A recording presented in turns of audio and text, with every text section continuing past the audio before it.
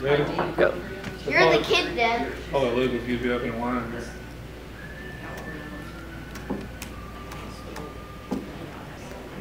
All right, going right straight through.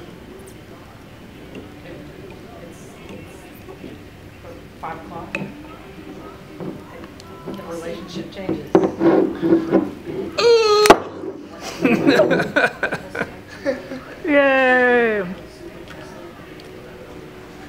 be uncomfortable, I can tell you.